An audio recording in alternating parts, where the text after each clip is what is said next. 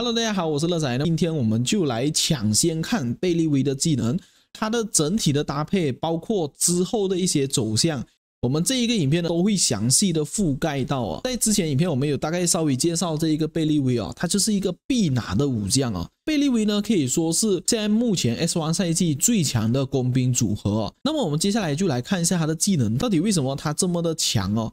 那首先呢，第一个技能呢就是它的这一个被动技能。它可以使自己进入到连击状态。那什么意思是连击状态呢？的让他的这一个英雄在普攻的时候会攻击两次，并且呢两次攻击都会有机会可以触发追击技能。那么什么意思叫做它会有机会触发追击技能呢？它会有概率会触发这个追击类型的技能哦。那比如说像弱点攻击，它就是追击技能来的。所以普攻过后，它会对敌方武将造成武力伤害，伤害呢是两百六十。所以也就是说，它是有机会一直会触发到这一个弱点攻击啊，所以就会造成大量的这一个伤害啊。这一个也是贝利维的一个核心的概念哦。所以你可以想象，它就是一直疯狂的连击，一直造成伤害，一直打超级的恐怖哦。那它这个连击时间呢是三秒，那并且呢每进行六次普通攻击的时候会提升自身的武力值，但是呢会降低自身的防御力哦。持续时间呢是九秒。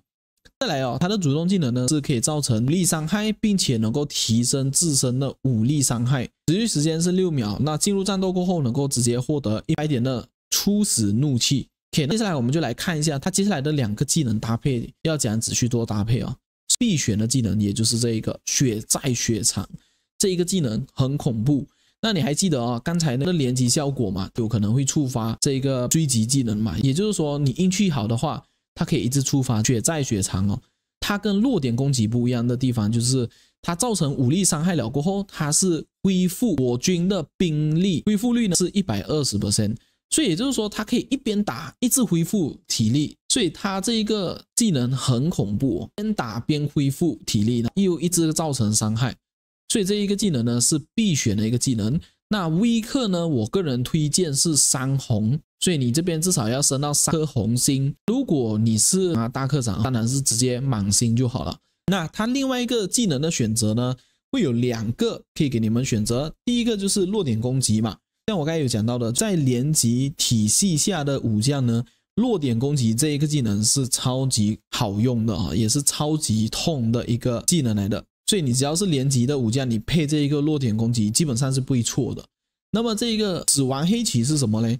它是普攻过后能够提升我军武力值最高的英雄的武力值，并且降低敌方装备值最高的英雄的装备值，持续时间是六秒。所以这个死亡黑旗呢，它更多像是一个辅助的技能。那我个人觉得呢，其实这一个技能不太适合贝利威，它比较适合的是贝利威的副将去做搭配。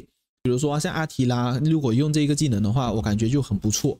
但是呢，现在问题，阿提拉没有这个技能，只有贝利威有这一个技能，所以这个就看个人的选择。那如果是我的选择呢？我会选择的是弱点攻击。接下来我们就要讲到另外一个话题啊。如果吕布来了之后，阿提拉去跟吕布去做搭配，那么我们的贝利威要怎样去做选择呢？其实这边有两个选择可以去做。那第一个呢是搭配杜加瓦迪，第二个呢就是搭配我们的公主。如果你是搭配公主的情况下呢，花木兰跟公主都要搭配这一个技能，也就是连击，让自身能够进入连击状态。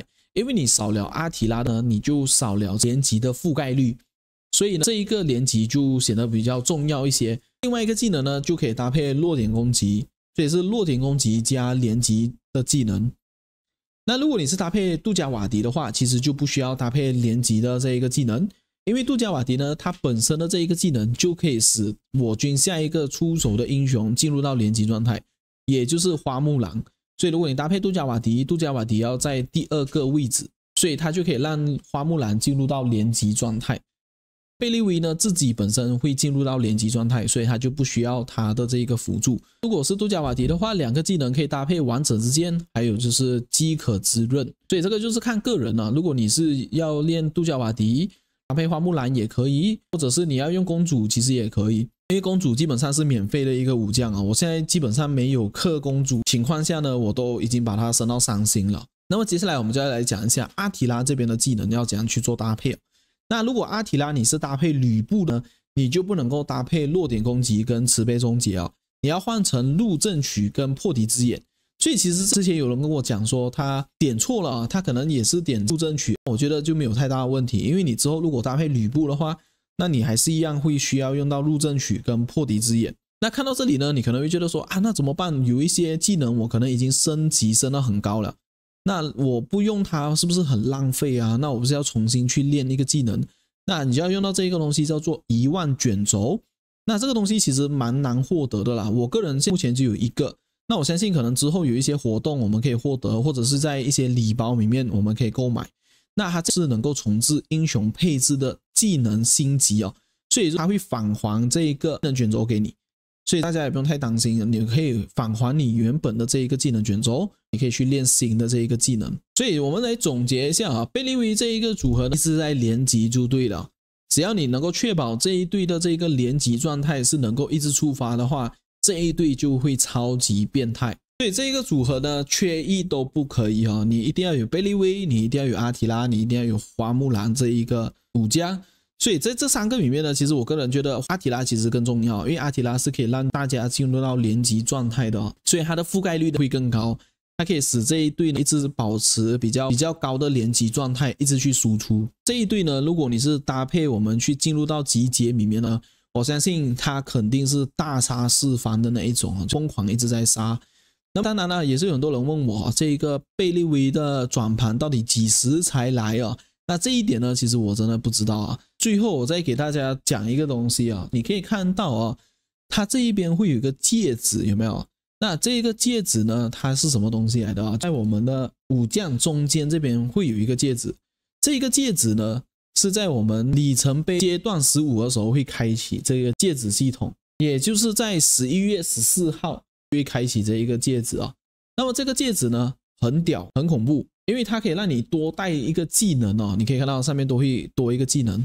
那关于这个东西呢，我们之后有了这一个戒指系统过后，我们再来详细的去跟大家做讲解。好的，那么这个呢，以上贝利威的这一个攻略分享给各位啦。